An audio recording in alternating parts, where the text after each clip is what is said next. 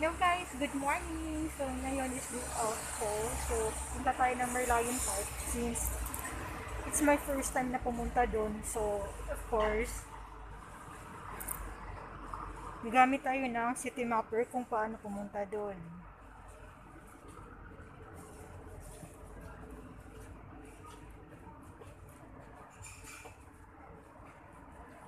Okay, wait lang guys. Ito guys.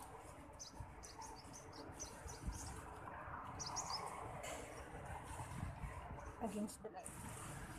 So, hinto muna tayo ng bus.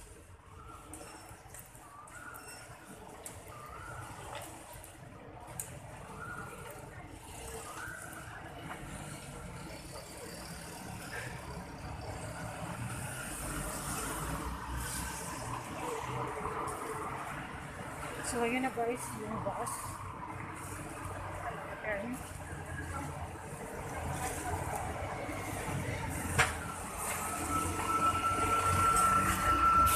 Tayo.